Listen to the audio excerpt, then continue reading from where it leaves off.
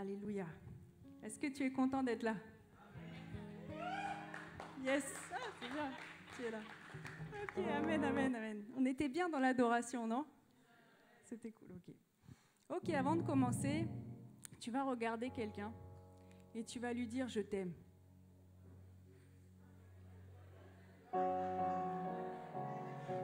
Si, si. Trouve quelqu'un et dis-lui je t'aime. Tu le regardes bien dans les yeux. Marlon, trouve quelqu'un et dis-lui je t'aime. Il faut dire. Amen. Maintenant, tu vas lui dire, je t'aime pas parce que Dieu me demande de t'aimer.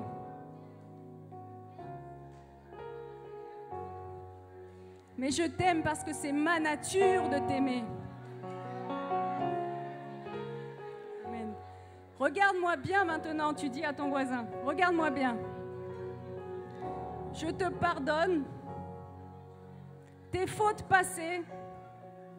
Regarde bien dans les yeux. Je te pardonne tes fautes passées, présentes et futures. Mon amour pour toi ne changera jamais parce que c'est ma nature. Alléluia. Amen. Yes. Amen, amen. Ok. Le Seigneur aujourd'hui vraiment me- m'a mis à cœur. Je ne sais pas si je peux donner un titre, si je dois donner un titre à l'exhortation, mais ça peut être soit ma part, la part que je dois faire, ou soit es-tu un sauvé? Ou un chrétien Alléluia. Es-tu un sauvé ou un chrétien? Amen. Ce soir, pendant que nous écoutions la parole du Seigneur, vraiment, j'aimerais qu'on puisse regarder à nous-mêmes, regarder à notre âme et pas penser à quelqu'un en fait. Penser à nous-mêmes. Amen. Alléluia. Je vais juste remettre, on va juste prier un moment, courber la tête. Alléluia. Père, merci pour ta parole qui va être libérée ce soir, Père. Nous nous attendons à toi. Seigneur, nous rendons captives toutes nos pensées à ton obéissance. Père, merci Seigneur parce que je sais que ce soir, je ne repartirai pas la même. Je sais que ce soir, il va se passer quelque chose dans mon âme. Alléluia. Père, merci parce que c'est par ton esprit, Seigneur. C'est par ton esprit et ta parole que nous sommes transformés. Père, nous n'avons pas chanté pour chanter. Nous n'avons pas déclaré des paroles pour les déclarer. Si nous avons dit que tu es le premier, si nous avons dit, nous avons clamé ton nom, Jésus, c'est parce que nous croyons véritablement, Seigneur, que tu es le centre de notre vie. Père, nous refusons d'être de ces personnes, Seigneur, qui déclarons des paroles sans les penser. Nous refusons d'être des beaux parleurs. Seigneur, tout ce que nous disons, nous voulons le vivre véritablement. Alléluia. Père, tu peux libérer ta parole. Nous sommes ouverts à la recevoir telle qu'elle est. Alléluia. Amen. Amen, amen. On peut se rasseoir. Amen. Ok. Ok, je vais commencer doucement. Vraiment, le Seigneur se positionne. Ce que j'avais vraiment à cœur, c'est qu'il se positionne en tant que maître ce soir. Il parle à ses disciples.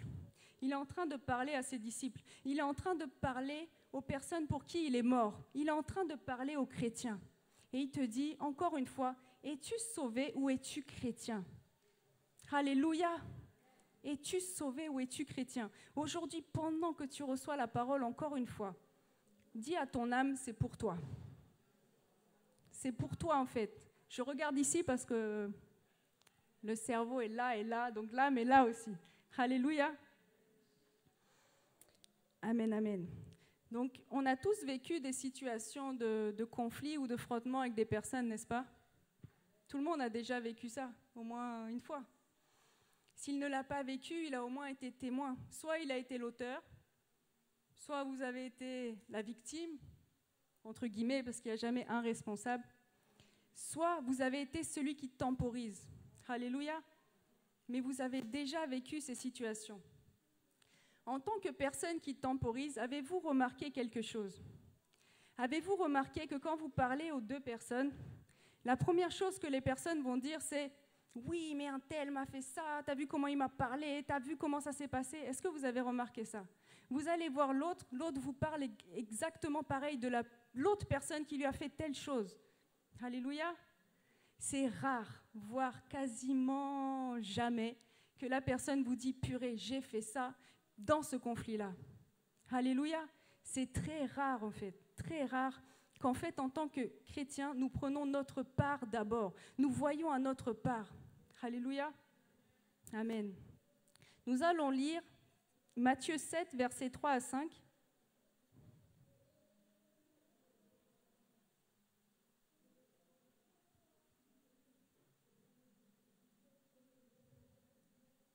Matthieu 7, versets 3 à 5. Vous avez tous vos Bibles?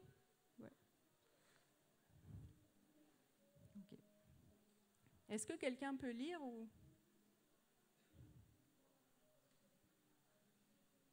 Oui. Oui, tu veux que je passe le micro à quelqu'un? Oui, euh, Chantal. Euh.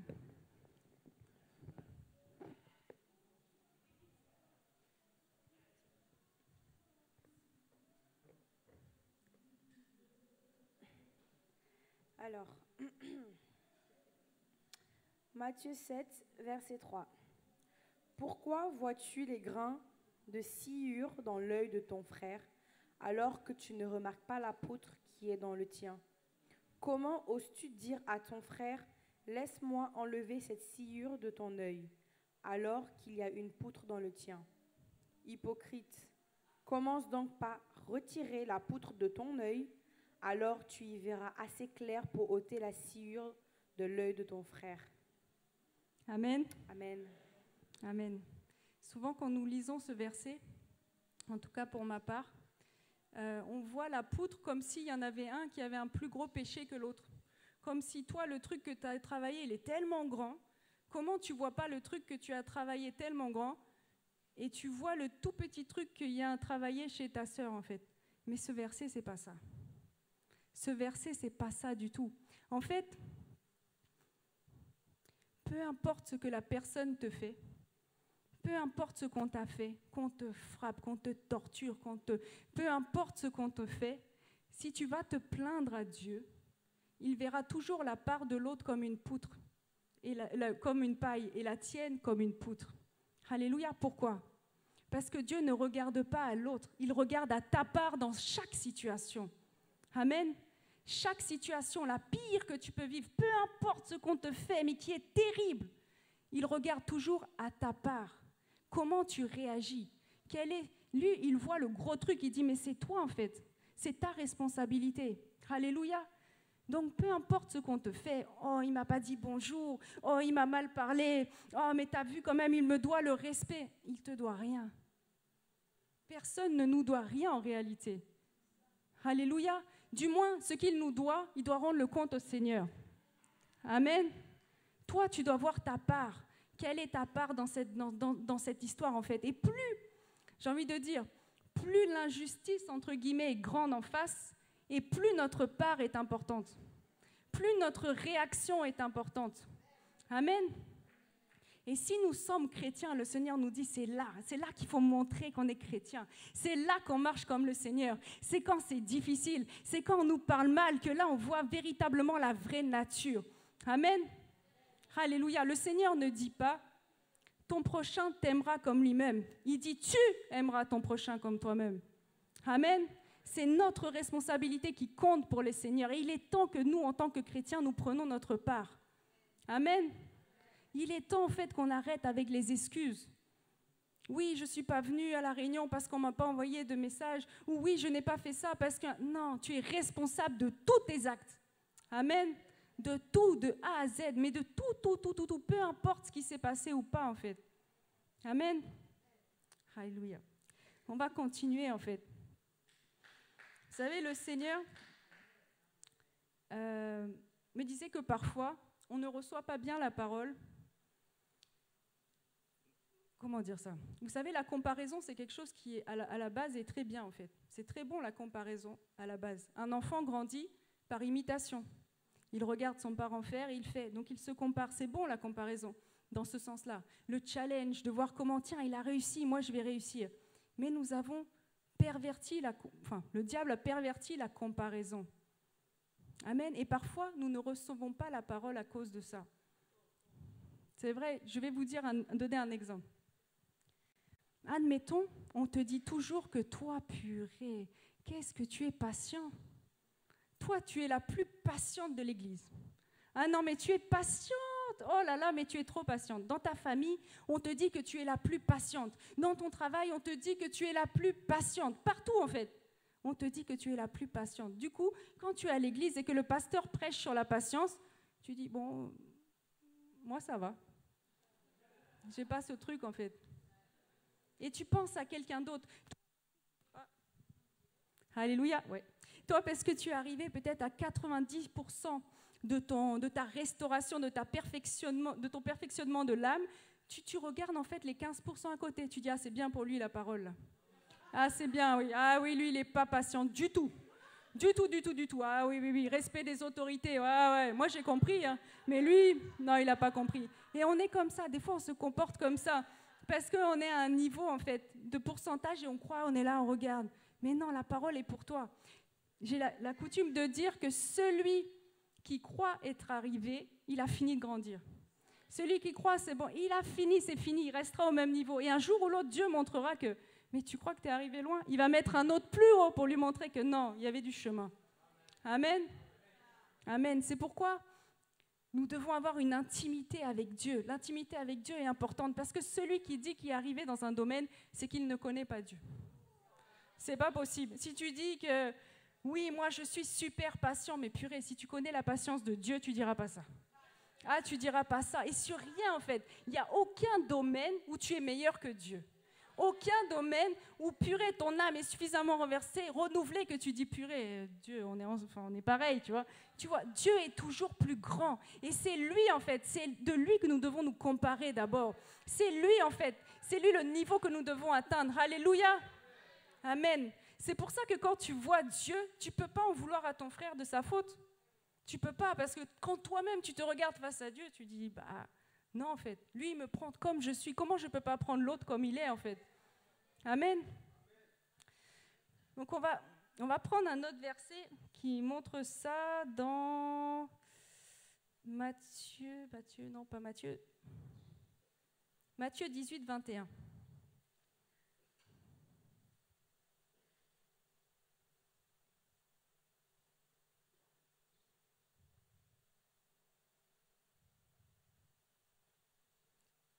Jusqu'à 35, je crois. 35 ou.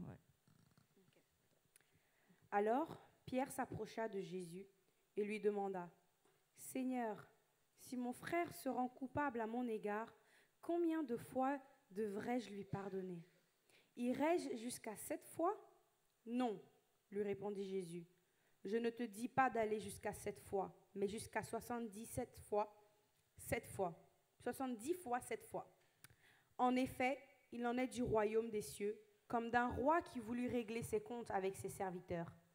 Lorsqu'il commença à compter, on lui, en présenta un qui lui devait 60 millions de pièces d'argent. Comme ce serviteur n'avait pas de quoi rembourser ce qu'il devait, son maître ordonna de le vendre comme esclave avec sa femme et ses enfants, ainsi que tous ses biens pour rembourser sa dette. Le serviteur se jeta alors aux pieds du roi et, se prosternant devant lui, supplia Sois patient envers moi et je te rembourserai tout. Pris de pitié pour lui, son maître le renvoya libre après lui avoir remis toute sa dette. À peine sorti, ce serviteur rencontra un de ses compagnons de service qui lui devait 100 pièces d'argent. Il le saisit à la gorge en criant Paie-moi ce que tu me dois Son compagnon se jeta à ses pieds et le supplia Sois patient envers moi, lui dit-il, et je te rembourserai tout. Mais l'autre ne voulut rien entendre. Bien plus, il alla le faire jeter en prison en attendant qu'il ait payé tout ce qu'il lui devait. D'autres compagnons de service, témoins de ce qui s'est passé, en furent profondément attristés et allèrent rapporter toute l'affaire à leur maître. Alors celui-ci fit convoquer le serviteur qui avait agi de la sorte. Serviteur mauvais, lui dit-il, tout ce que tu me devais, je te l'avais remis parce que tu m'en avais supplié. Ne devais-tu pas, toi aussi, avoir pitié de ton compagnon, Comme j'ai pitié de toi? Et dans sa colère, son maître le livra au bourreau jusqu'à ce qu'il ait remboursé toute sa dette. Voilà comment mon Père céleste vous traitera, vous aussi, si chacun de vous, vous ne pardonne, si chacun de vous ne pardonne pas du fond du cœur à son frère. Amen. Moi j'ai, si chacun de vous ne pardonne pas à son frère de tout son cœur. Alléluia. De tout son cœur. Est-ce que ça vous rappelle quelque chose? Vous savez, bien souvent, c'est bizarre, mais on a l'impression qu'il y a des péchés plus graves que d'autres. Pourtant, un péché, c'est un péché, non? Un péché, je veux dire, l'impolitesse, c'est un péché. La désobéissance, c'est un péché. Le retard est un péché. Pourquoi, pourquoi voir toujours? Ah, C'est vrai. C'est vrai. Vous prenez pour vous, j'espère. Amen. Amen. Ok. Mais toutes ces choses sont des péchés et bien souvent, je ne sais pas pourquoi, c'est sûrement la nature charnelle, quand on est un peu charnel, on vient comparer des péchés. C'est chelou quand même, c'est un peu bizarre comme, comme façon de faire. C'est chelou. Amen. Mais la vérité, c'est quoi? C'est que nous avons tous commis le pire des péchés. Tous, vous avez commis le pire des péchés. Le pire, pire que le viol, pire que l'assassinat, pire que les génocides, pire que tous les péchés. La Bible dit que le Saint-Esprit est venu convaincre de péché, de jugement et de justice. De péché à cause du fait qu'on n'ait pas cru en Jésus-Christ. Qui, un jour n'a pas cru en Jésus-Christ? Il y a un jour, vous ne croyez pas en Jésus. Et c'est ça le pire des péchés. Alléluia. Amen. Nous sommes tous coupables. Tous nous avons été coupables de ça, en fait. Amen. Et parce qu'on sait qu'on a été coupable, comme cet homme qui a été pardonné, nous pardonnons aux autres tout le reste des péchés. Parce qu'il n'y aura jamais un péché, il n'y aura jamais une action qu'on fera contre vous qui sera plus grave que ce que vous avez fait contre le Seigneur. Amen. Alléluia. Amen. Amen, amen. Que cette parole reste et qu'on l'applique. Amen. Ok. Donc maintenant qu'on sait que nous pouvons pardonner, le Seigneur veut que nous marchions comme des chrétiens, mais c'est quoi marcher comme des chrétiens? C'est quoi en fait? On va prendre 2 Timothée 4, 12.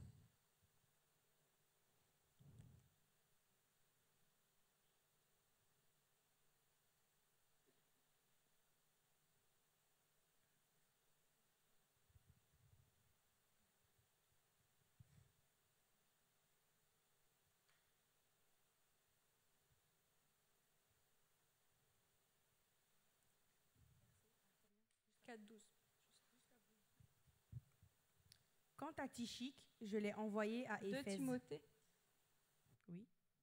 Sûr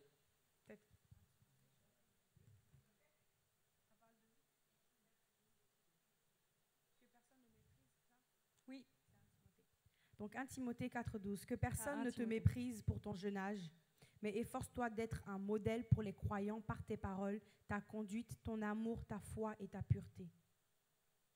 Amen. Amen. Amen. C'est grand quand même. hein.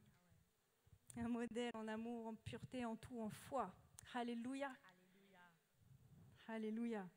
Je sais qu'il y a certains qui se disent, mais punaise, un modèle en tout ça, quoi. Un modèle. Mais comment on fait pour être un modèle en tout ça? On a quand même le processus de changement de notre âme, non? Comment on fait en fait? C'est quoi?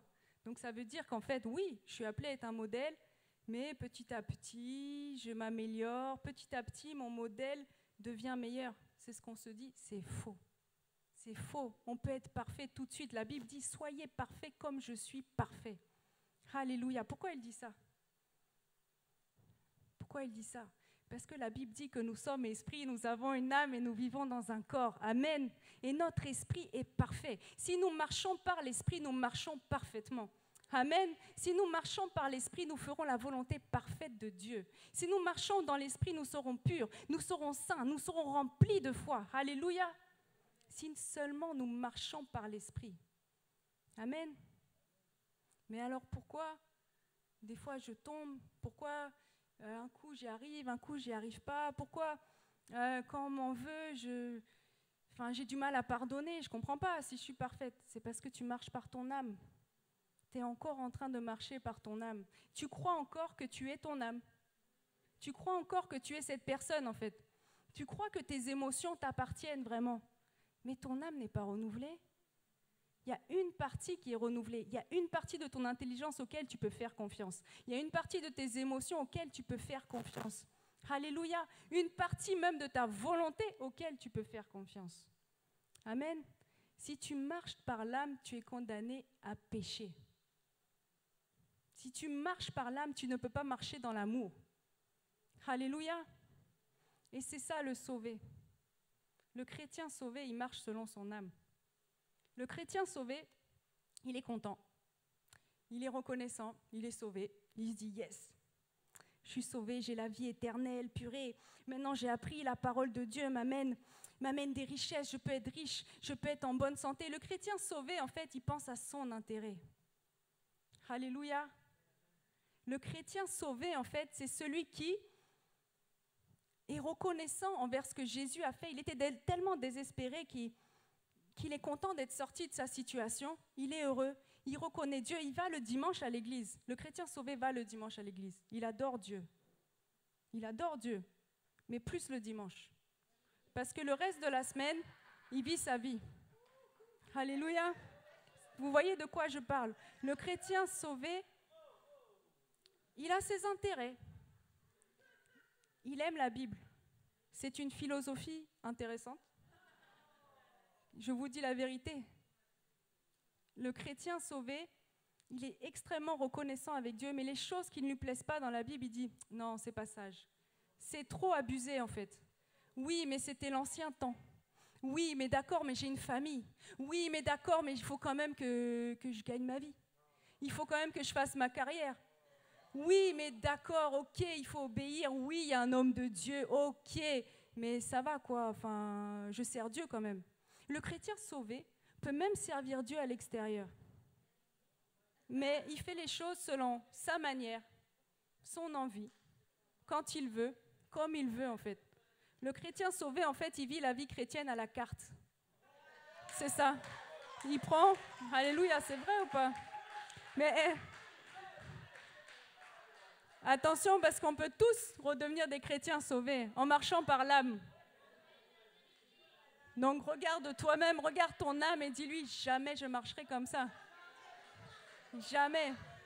Parce que c'est moi, esprit, c'est moi, esprit, pasteur de mon âme. Vous êtes les pasteurs de votre âme. Vous êtes les pasteurs de votre âme. C'est vous-même qui êtes responsable de votre âme et elle doit rester soumise. Alléluia.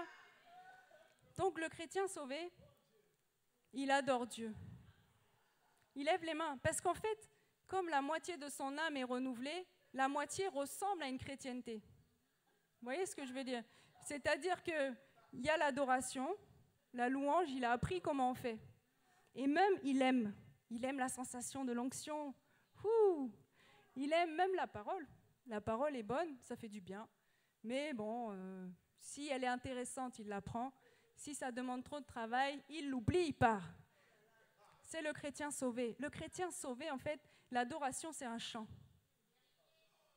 C'est ça, en fait. Alors que, enfin, le, j'ai même pas envie de dire le chrétien sauvé, j'ai envie de dire le sauvé. Parce que chrétien, c'est celui qui marche comme Christ. Alléluia. Le chrétien, c'est celui qui, dans sa vie, sa vie entière est une adoration pour Dieu. Le chrétien, c'est celui qui se dit, purée, est-ce que mon attitude, purée, est-ce que tu aimes mon attitude? Est-ce qu'elle t'adore mon attitude? Est-ce que mes choix, purée, c'est une adoration pour toi? Est-ce que tu kiffes comment, comment je fais telle chose? Est-ce que je me donne assez pour toi? Le chrétien, en fait, il adore véritablement Dieu de tout son cœur, en esprit et en vérité. Alléluia. Amen. Le chrétien veut ressembler à Christ, non pas parce que, j'ai même pas envie de dire veut ressembler à Christ, il ressemble à Christ parce qu'il marche selon l'Esprit, selon sa vraie nature. Alléluia. Il marche selon sa vraie nature.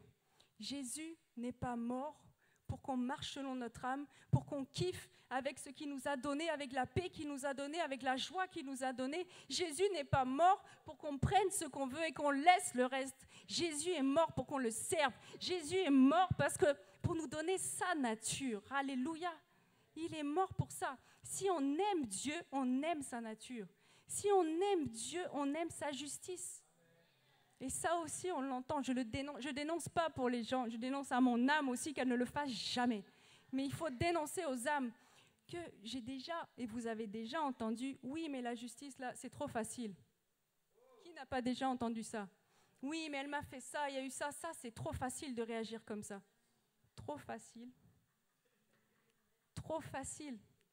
Dieu Tout-Puissant. Dieu Tout-Puissant.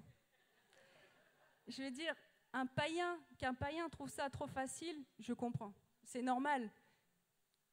Il n'a pas la sagesse de Dieu.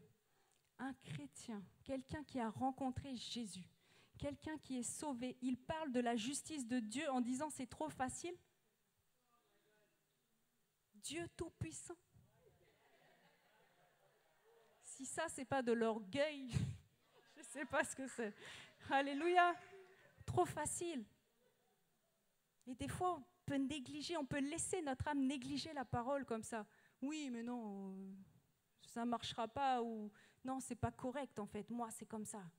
Mais quel orgueil Tu crois savoir mieux ce qu'il faut faire que Dieu lui-même Alléluia. Amen. Amen. Donc ce soir, Dieu nous parle et nous dit, marchez par l'Esprit.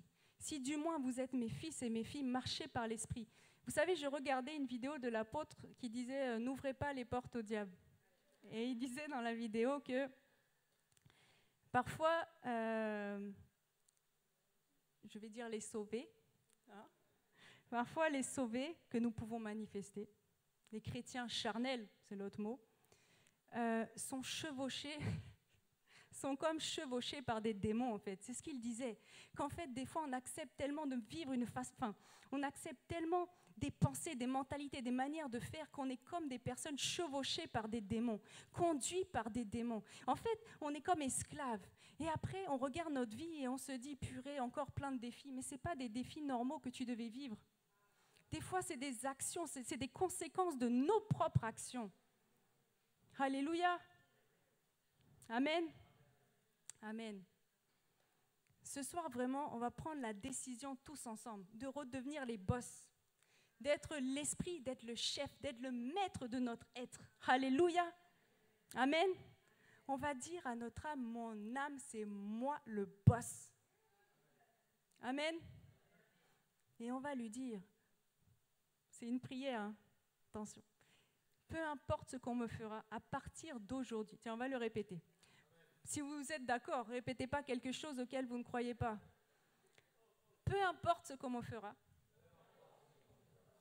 peu importe ce qu'on me dira, je regarderai toujours à ma part.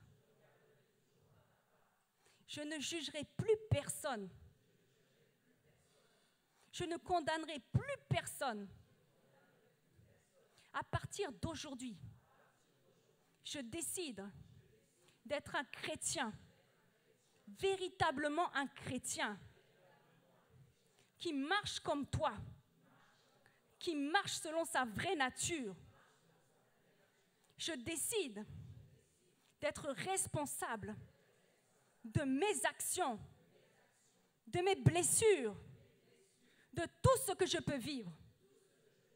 Alors peu importe la situation, dans laquelle je suis aujourd'hui, je décide de regarder seulement à ma part.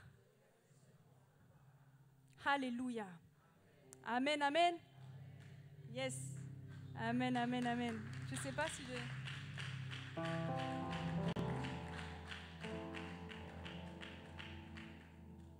Amen. Je ne sais pas si j'ai un peu de temps ou pas. Oui Ok. Vous savez, le, pour marcher dans l'esprit, il faut obéir. Alléluia. La marche par l'esprit n'est pas compliquée. N'est pas, du tout n'est pas du tout compliquée. Mais pour marcher dans l'esprit, il faut obéir. Obéir aux choses simples. C'est quand nous désobéissons à cette conscience qu'au final, nous finissons par fermer nos oreilles, en fait. Alléluia. C'est des choses très simples. Ne, ne permettez pas à Dieu, comment dire, de devoir hausser le ton avec vous. Amen. Qu'il puisse tout simplement nous reprendre avec douceur. Qu'il puisse tout simplement nous dire non. Vous voyez? Tranquille en fait. Vous savez, une fois, et ça j'ai à cœur de vous le dire, une fois dans ma vie, le Seigneur m'a pris, m'a repris avec fermeté. Une fois. Et je peux vous dire que je ne veux pas qu'il y ait deux fois. Et pourtant, je n'avais rien fait intentionnellement de mal. Vous voyez ce que je veux dire? Et je vais vous témoigner de ça parce que c'est trop important. Euh, j'étais en fait, je travaillais à l'époque je servais dans le département des enfants. Et j'étais responsable d'une section. OK? Ma responsable, je l'aimais beaucoup, pas de souci. Mais il y avait un truc qu'elle avait fait, j'étais pas forcément d'accord. Je vous assure que j'avais raison. Je dis pas ça parce que j'ai raison, non, pas du tout. J'avais raison, vraiment, mais j'avais rien contre elle, mais je voulais juste m'expliquer normalement, quoi. Mettre les choses au point, tranquille, avec amour, avec douceur. Mais vraiment, hein, sans mentir, c'est vrai. J'avais rien dans le cœur de négatif.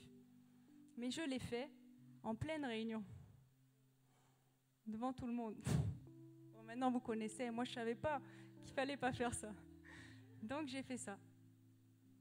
Dans la semaine, elle a écrit un mail à tout le monde pour expliquer euh, les faits. C'était rien de grave. Hein. Quand je vois le mail, je vois l'explication, je dis mais ah non, elle est passée à côté. C'est pas ça que je disais. C'est pas c'est pas ça que je voulais expliquer.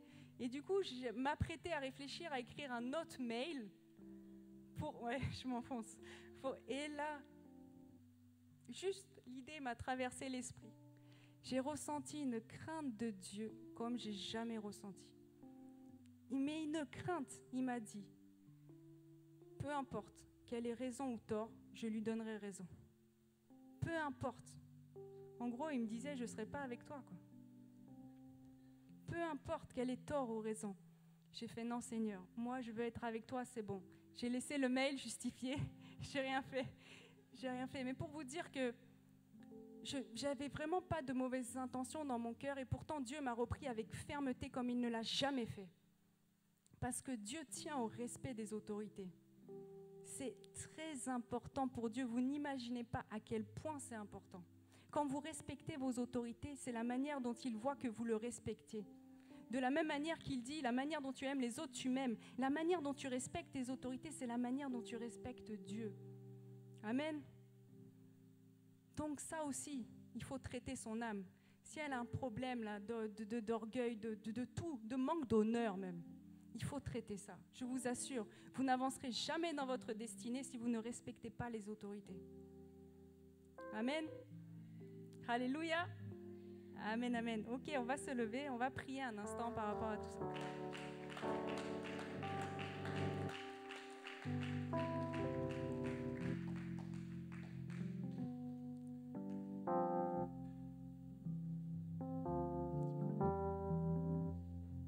Alléluia. Amen, amen. Ok, je ne sais pas combien de pourcentage tu es dans ton âme par rapport à la parole qui a été libérée. Je ne sais pas où tu en es même en ce moment. Peut-être que tu vis dans le... Je ne sais pas comment tu vis. Peut-être que tu pêches souvent, j'en sais rien. Tu sais, si si nous marchons par l'esprit, nous ne sommes pas censés vivre dans le péché. Nous pouvons tomber comme un enfant tombe, mais un adulte n'est pas censé tomber tout le temps. Alléluia. Si tu tombes encore régulièrement, c'est pas normal. C'est que tu as laissé ton âme dominer. Et si tu luttes avec ça, c'est parce que tu es en train de le faire par ton âme. Aujourd'hui, si tu vis des situations comme ça, je ne sais pas ce que ça peut être. Ça peut être l'infidélité, ça peut être ça peut être tellement de choses. Ça peut être le déshonneur, ça peut être une amertume envers quelqu'un. Peu importe ce que c'est, je ne sais pas dans quoi tu vis. Ou peut-être que tu as fait tes propres choix dans ta vie. Peut-être que tu as mis ta priorité avant celle de Dieu. Aujourd'hui, répands-toi. Aujourd'hui, parle à ton Dieu, répands-toi et décide d'être cet esprit qui marche selon la nature de Dieu. Alléluia. Amen. Prions. Oh Père, je prends ta parole pour moi. Je prends ta parole pour moi. Seigneur, je veux te ressembler. Que mon âme, Seigneur, te ressemble. Que mon âme, Seigneur, te manifeste. Je ne veux pas être un modèle selon le monde. Je ne veux pas être un modèle, Seigneur, qui est là juste pour montrer quelque chose. Mais je veux véritablement vivre selon ma nature. Je veux véritablement vivre selon toi. Seigneur, tu as payé un grand prix pour moi. Tu as payé un grand prix pour toi, pour moi. Et tu mérites, Seigneur, le meilleur. Tu mérites le meilleur. Seigneur, s'il y a quelque chose dans ma vie que je retiens, s'il y a quelque chose dans ma vie que je ne t'ai pas donné, s'il y a quelque chose dans ma vie qui n'est pas une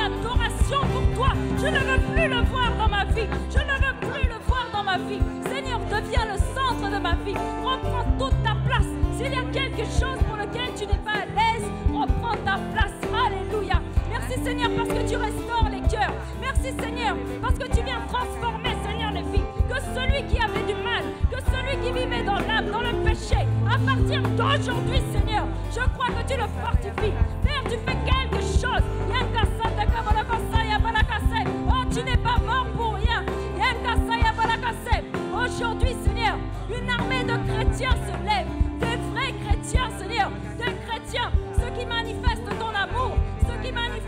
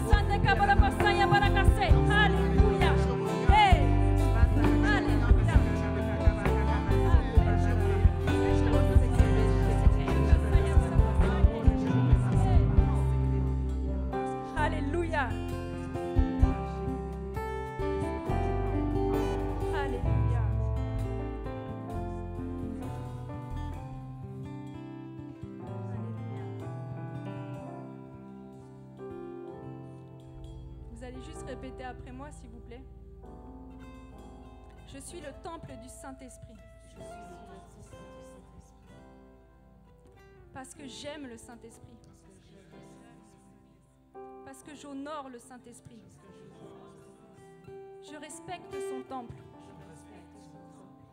Je refuse toute souillure,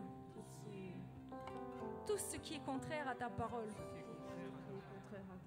Je marche dans la sainteté parce que c'est ma nature. J'ai pas besoin de forcer. Parce que c'est ma nature. Je suis plus que vainqueur en, en tout. parce que je marche selon ma nature. Père, merci pour ta parole. Qui lave notre âme. Merci Seigneur. Parce que tu travailles en nous un cœur humble, un cœur enseignable, corrigeable. Merci Père, parce que je ne regarderai plus jamais mon frère ou ma sœur de la même manière. Je verrai ses fautes comme une occasion pour toi de te glorifier. Je verrai ses erreurs comme une occasion pour moi de grandir. Je refuse l'offense. Je suis la solution de mon frère, de ma sœur. Tu vas dire ton nom. Donc moi, Claire, dis ton nom. est mort sur la croix. Redis ton nom. Claire est morte sur la croix.